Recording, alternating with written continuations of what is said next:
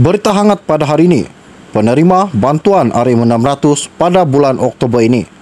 Pelbagai jenis bantuan kewangan telah diperkenalkan oleh pihak kerajaan bagi membantu mereka yang memerlukan. Antaranya adalah bantuan musim tengkuju iaitu BMT di bawah RISDA. BMT pada asasnya merupakan bantuan kewangan sebanyak RM600 yang dibayar sebanyak dua fasa pada bulan November dan Disember ini syarat dan kelayakan yang harus diketahui oleh rakyat Malaysia.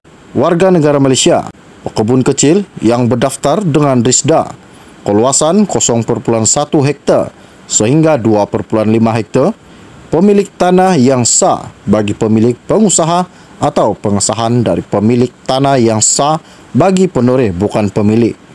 Satu lot hanya seorang pekebun kecil sahaja, sama ada pemilik atau penoreh seorang penerima hanya layak menerima bantuan sekali sahaja.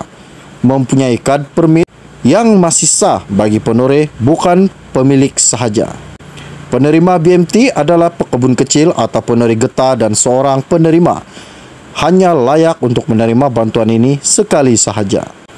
Untuk makluman, pemohon BMT telah pun ditutup pada 15 September 2022.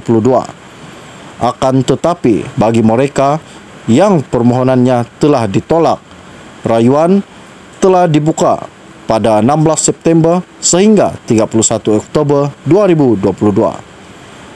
Bagi urusan pembayaran pula, ia akan dilaksanakan secara Electronic Fund Transfer EFT ke akaun bank aktif yang telah didaftar oleh penerima ketika membuat permohonan. Manakala nombor akaun bagi tabung haji dan amanah saham nasional Berhad ASNB pula tidak boleh digunakan untuk bayaran bantuan.